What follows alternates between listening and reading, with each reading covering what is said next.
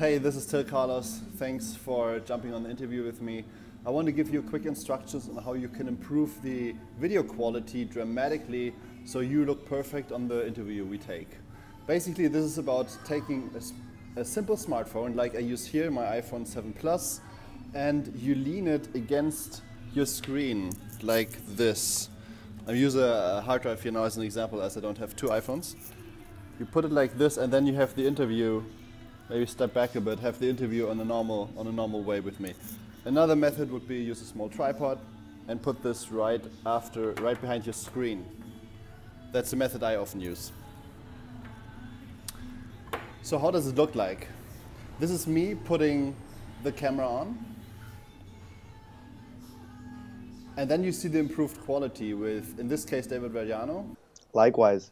You look exactly like on the YouTube videos, it's nice. And also another sample with David McManus. You see it is much smoother because over Skype the compression hits in and then it's sometimes hard to capture really nice fluid video. But with a camera it would be much better. When we have done the interview, the simplest thing you do is put it into a Dropbox and send me the magic link so I can download the file. That's all. I'm re really looking forward to the interview with you. Thanks.